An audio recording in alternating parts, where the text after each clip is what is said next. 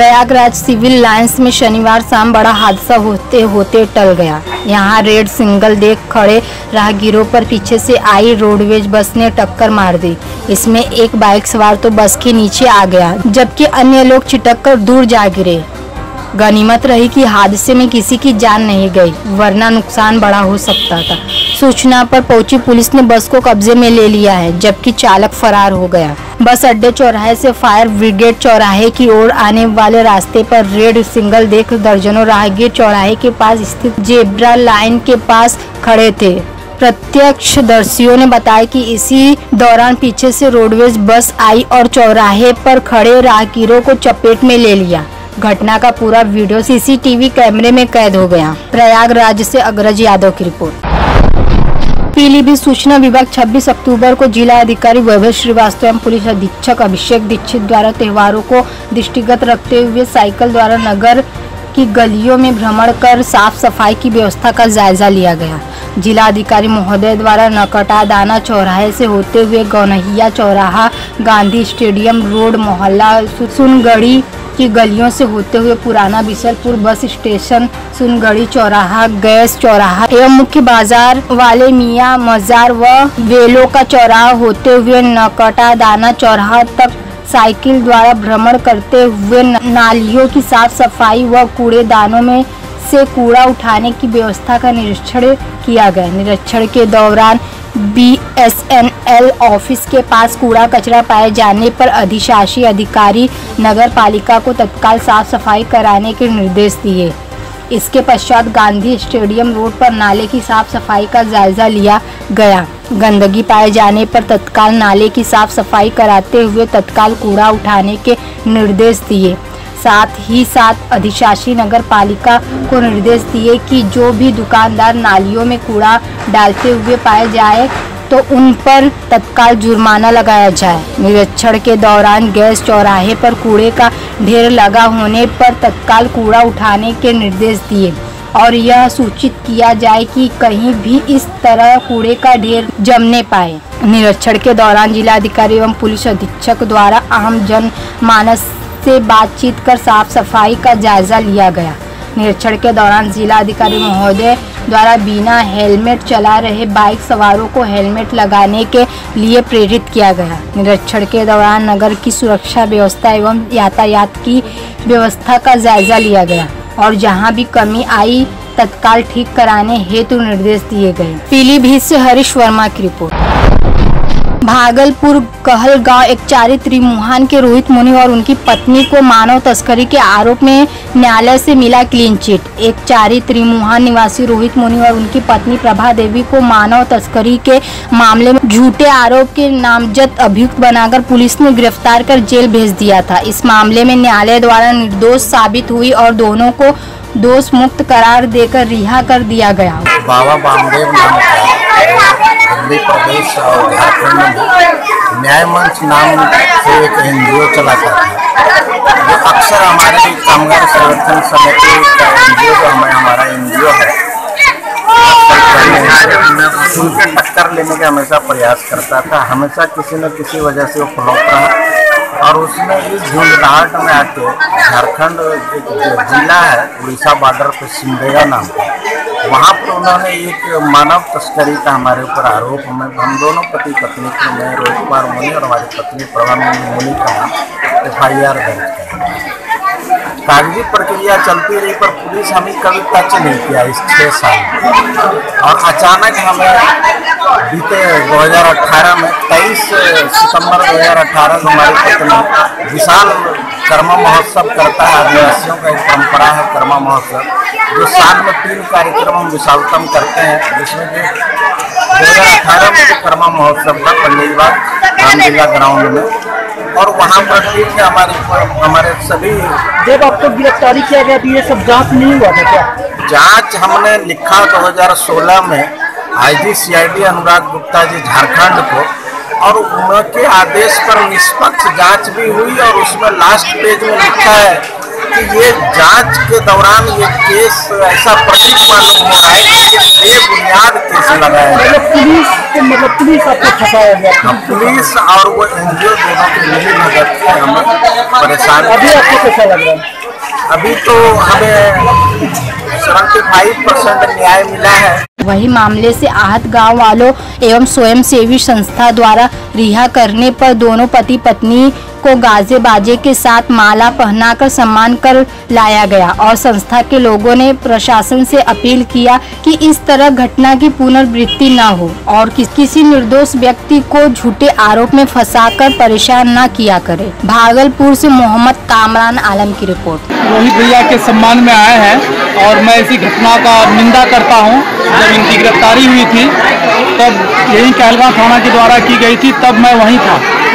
और मैं जो सरकार, सबका साथ सबका विकास, सुशासन का नाम देता है तो मैं उनसे मांग करता हूँ सोशल मीडिया, पोर्टल मीडिया के माध्यम से कि इस तरह की घटना का पुनरावृत्ति ना हो। हर आदमी का अपना सेंटिमेंट होता है, सम्मान होता है और निर्दोष लोगों को झूठे मामले में फंसा कर इस तरह से उनको परेशान करना, यह न्यायोचित नहीं है।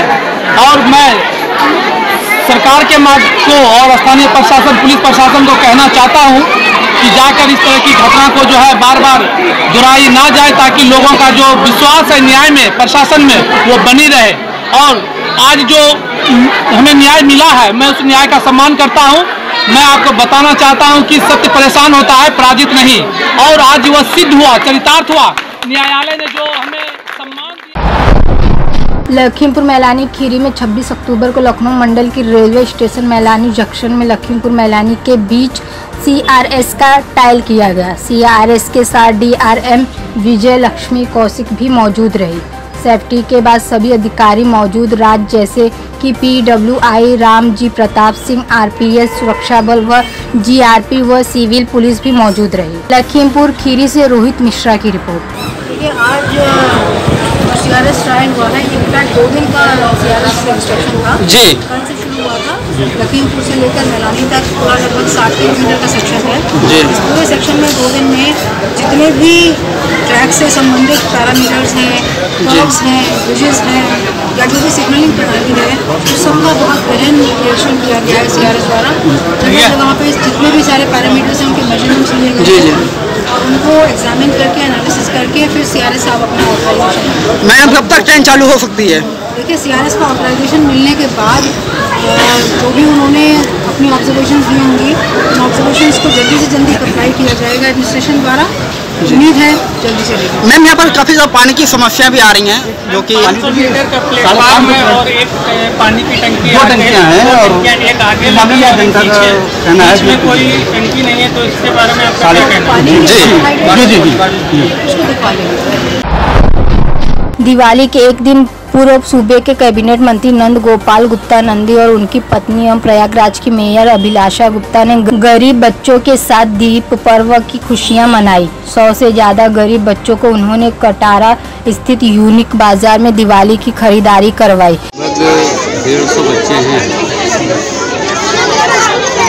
गरीब बच्चे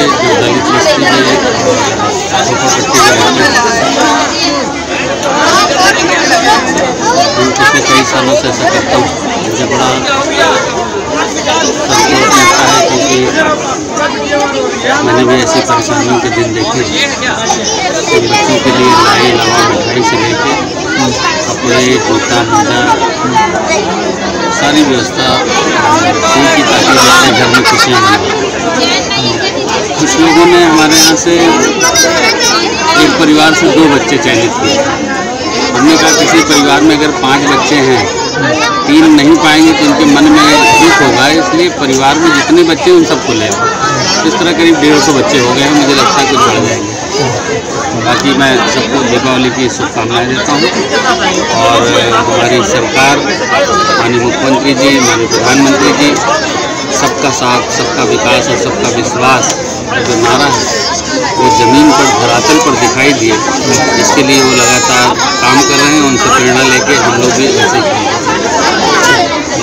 इस दौरान किसी बच्चे ने जूते लिए तो किसी ने कपड़े।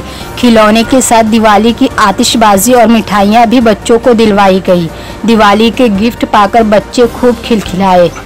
पिछले वर्ष भी नंदी ने विवेकानंद मार्ग स्थित एक मॉल में ले जाकर गरीब और बेसहारा बच्चों को दिवाली की शॉपिंग करवाई थी। वहीं इस बार कटारा स्थित यूनिक बाज़ार में बच्चों के साथ पहुँचे।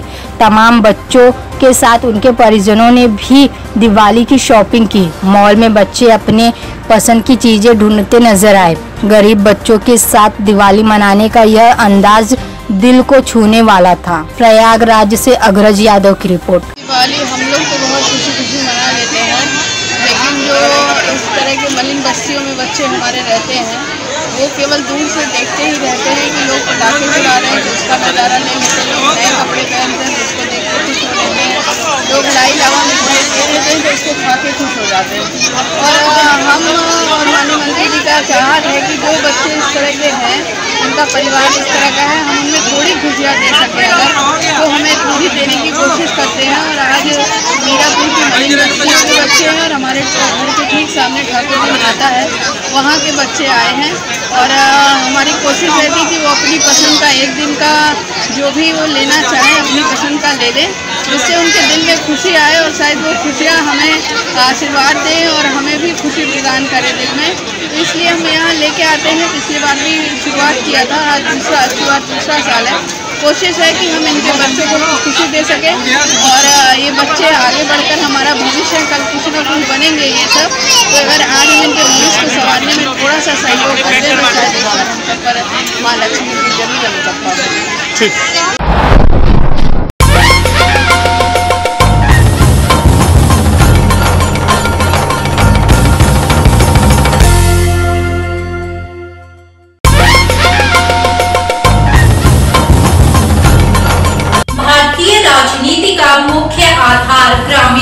राजनीति यानी कि पंच और सरपंच। क्या है बदलाव के लक्षण? क्या गाँवों को आधारभूत सुविधाएँ मिलती हैं? क्या गाँव में पीने का पर्याप्त पानी है क्या गाँव में चिकित्सा नालियाँ और सड़कें दुरुस्त हैं? सभी मुद्दों के साथ हम आ रहे हैं आपके द्वार आपके सरपंच के साथ सिर्फ़ जेके का बदलाव